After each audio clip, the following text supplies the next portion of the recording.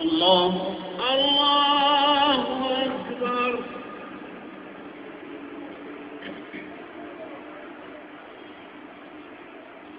الله أكبر. الله أكبر.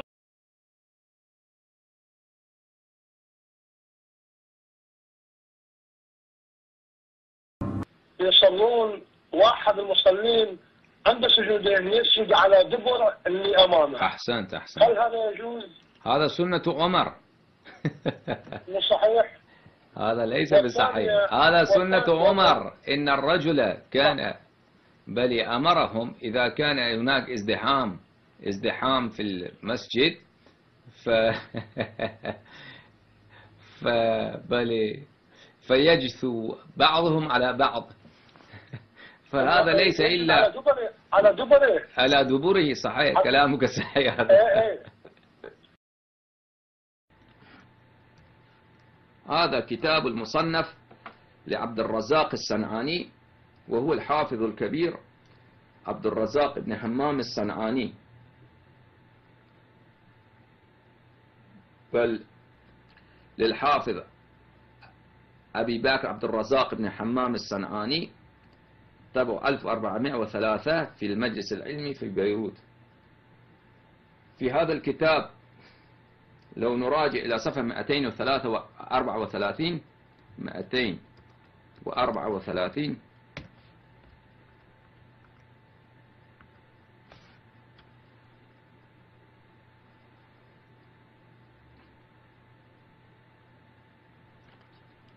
رقم الرواية 5469 عبد الرزاق عن معمر عن الأعمش عن بن رافع أن عمر بن الخطاب قال من اشتد عليه الحر يوم الجمعة في المسجد فليصلي على ثوبه ومن زحمه الناس فليسجد على ظهر أخيه.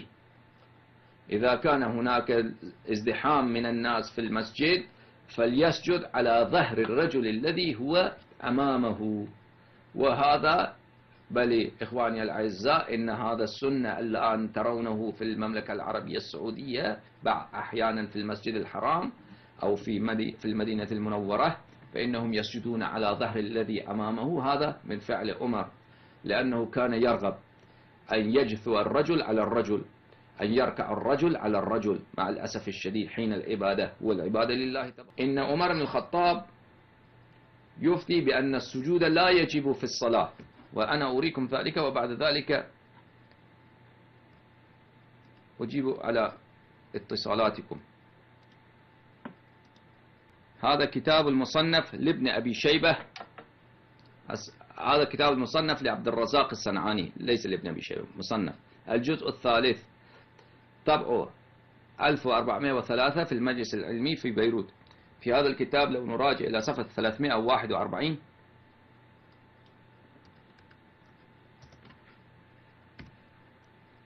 341 رقم الرواية 5800 5889 يروي بسند مذكول عن عبد الله ابن أبي ابن الحدير أنه حضر عمر بن الخطاب يوم الجمعة.